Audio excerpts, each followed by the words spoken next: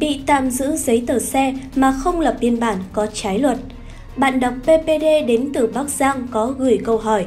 Trường hợp người điều khiển phương tiện giao thông phạm luật giao thông, chủ phương tiện đưa đăng ký xe, đăng kiểm và giấy phép lái xe cho cảnh sát giao thông kiểm tra. Nếu cảnh sát giao thông muốn tạm giữ những giấy tờ này thì có cần lập biên bản hay không?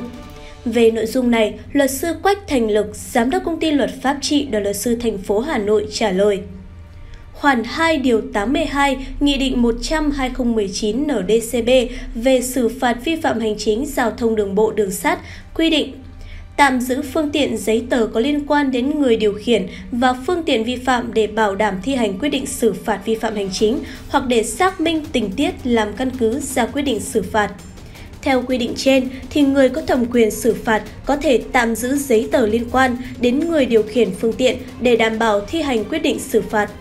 Tuy nhiên, khoản 9 điều 125 Luật xử lý vi phạm hành chính quy định, mọi trường hợp tạm giữ tăng vật, phương tiện, giấy phép, chứng chỉ hành nghề phải được lập thành biên bản.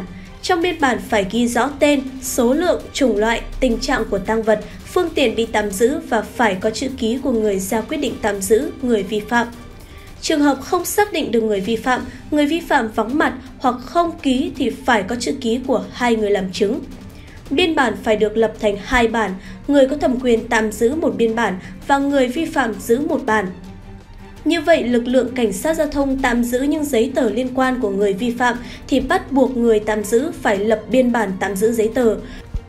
Trường hợp tạm giữ giấy tờ mà không lập biên bản tạm giữ là trái pháp luật.